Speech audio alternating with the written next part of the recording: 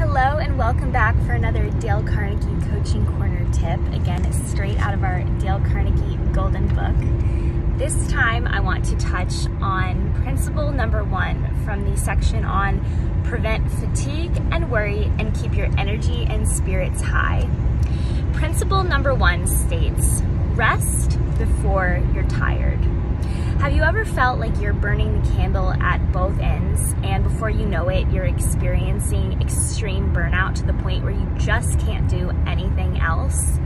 Well, Dale Carnegie says in order to prevent that, what you need to do is you need to look into the future and forecast when you are going to start experiencing this fatigue. And before you experience that fatigue, that is when you need to rest. So you need to take breaks early and often, you need to get adequate sleep and rest, and you need to really take care of yourself before you can take care of other people.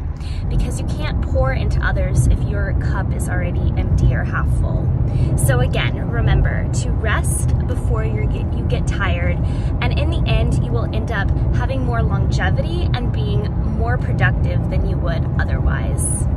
Thanks. That's again from my Dale Carnegie Golden Book. Everyone have a great weekend. Bye.